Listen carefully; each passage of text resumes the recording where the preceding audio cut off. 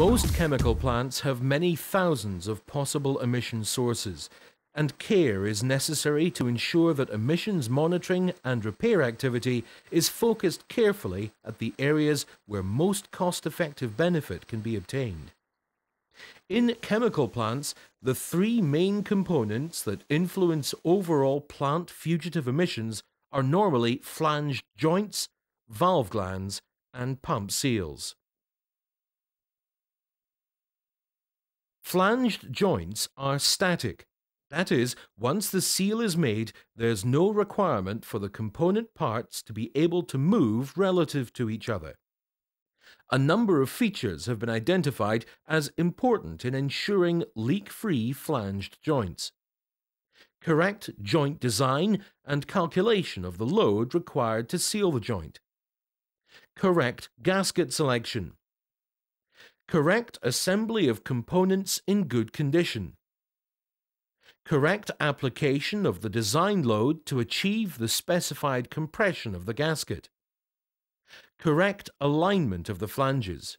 If these key directives are followed, your joint should pass the soapy bubble test and produce emission levels well below the suggested leak threshold of 500 parts per million.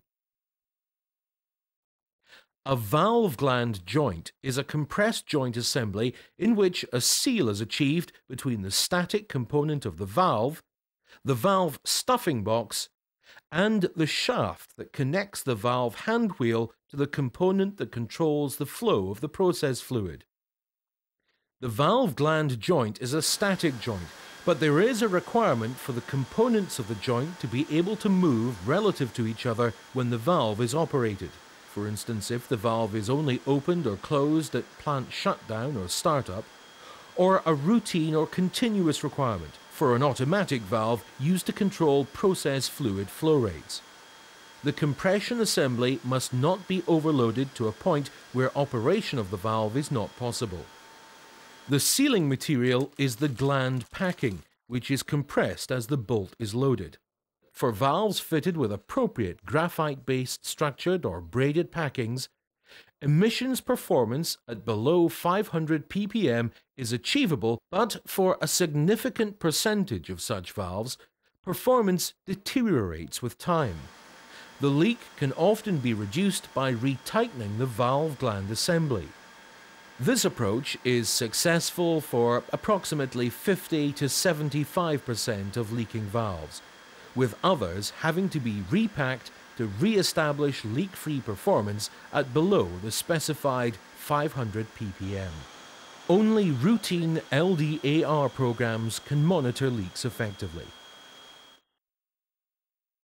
A pump seal is a loaded seal between a rotating pump shaft and a pump seal housing.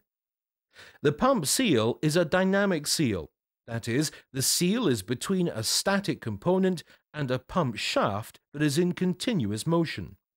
Pump seals are highly engineered assemblies, and they range from single seals to double seal assemblies with pressurized barrier fluids. Most double seal assemblies either prevent emissions to atmosphere of process fluids or allow for any process fluid losses to be vented to a flare system. Testing shows that emissions from single seals are often at levels higher than 500 parts per million. Overhauling pump seal systems and replacing the seal components does not always improve performance. Fitting double seal systems is expensive and can reduce the mechanical reliability of the pump. But in many cases, this is the only approach that can be relied upon to produce emission-free performance. Remember that properly made flange joints do not leak. The best practices that we've outlined in the program play a key role in making sure our plants remain safe and will help us avoid leaks that could have serious consequences for all of us.